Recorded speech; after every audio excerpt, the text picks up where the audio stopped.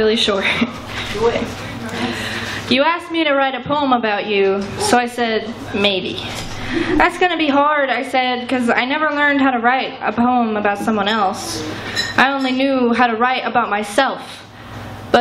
Boy, you've got golden honey dripping from your eyelashes, filling your eyes with a sticky sweet filter you see me through. I didn't realize that anyone would find so much sugar in the bones I deemed dusty, so much saccharin in my concrete tongue. I thought I forgot what it felt like to be listened to.